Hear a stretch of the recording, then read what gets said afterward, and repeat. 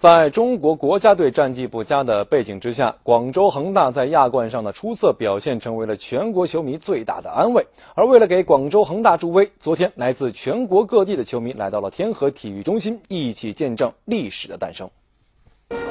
这里是天河体育中心场外，广州的新中轴线上，不到五点半的时间，这已经汇聚了大量身着广州恒大球衣的球迷。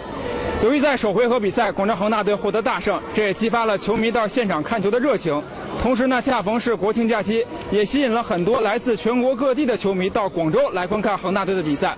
所以说，现在的广州恒大队不仅仅是广州球迷喜爱的恒大队，同时也是全国球迷支持和关注的恒大队。广州恒大在亚冠赛场的出色表现，让他成为了全国球迷的宠儿。而昨天恰逢国庆假期，所以在天河体育中心出现了大批来自全国各地的球迷。呃，我们从一家三口从宁波过来的。昨天，昨天下午哦，昨天中午十一点飞机，然后到这里，专门过来看这场球。专门过来看这场球。呃，从哪里过来看球？呃，从呃辽宁大连过来的。啊，什么时候到的？呃，今天下午。呃，我呃，我们是从江西赣南苏区来的。啊，什么时候到的？呃，是今天下午刚刚到。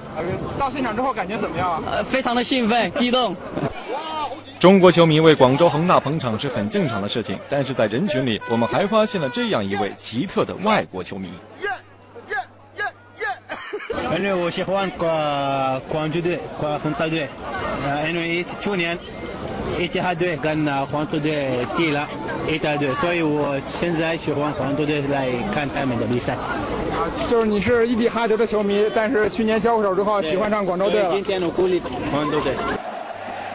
球队踢得好，球迷就开心。国庆假期也过得舒畅。广州恒大通过自己的努力，向球迷们传递着一股正能量，希望恒大队可以再接再厉，让亚冠决赛再度成为球迷们的欢乐海洋。